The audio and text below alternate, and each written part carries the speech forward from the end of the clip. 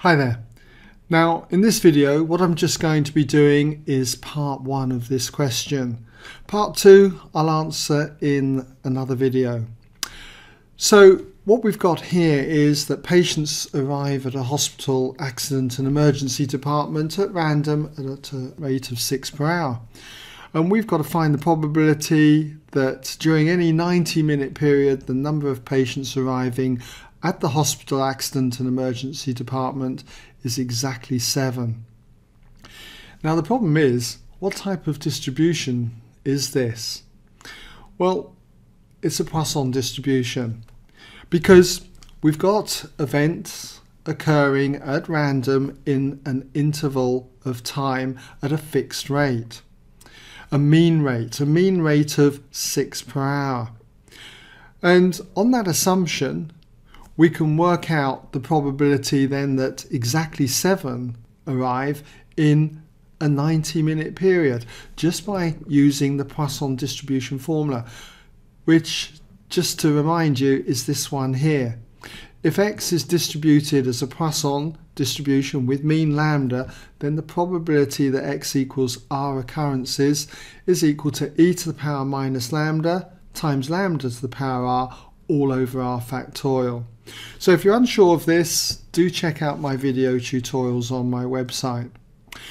Now the first thing we need to do is to define a random variable and I'm going to say that that random variable is x and so we've got here let x be the random variable number of patients arriving not in an hour but in a 90 minute period a 90 minute period then is one and a half hours so I can expect if I just say here where x is distributed as a Poisson, the mean is now 6 times 1.5.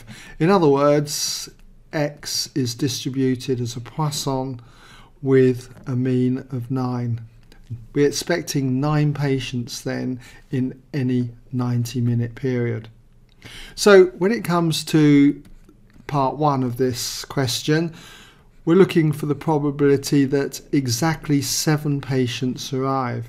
And to do this, we can do it two ways. We can either use this formula here, or we could use it from the cumulative Poisson distribution tables. I'll show you both methods, okay?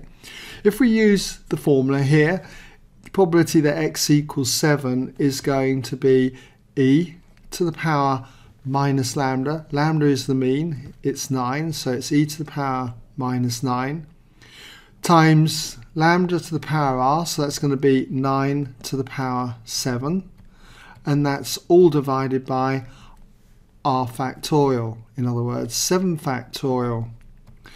And if you get on your calculator, work that out, you should find you get 0.1171 and so on.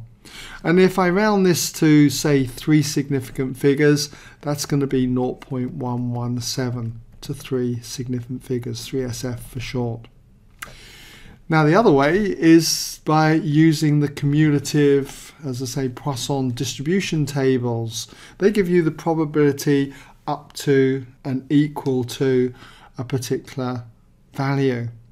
So again, I'm assuming that you're familiar with those tables. So when it comes to working out the probability x equals 7, this is done by working out the probability that x is less than or equal to 7 minus the probability that x is less than or equal to 6. And if you look up these values, for 7 you should find you get 0.3239 and then for 6 being less than or equal to 6 that probability is 0.2068. So that when we subtract these two, you end up with 0.1171, which again I'll give to three significant figures is 0.117 to 3 sig figs, 3SF there for short. Okay?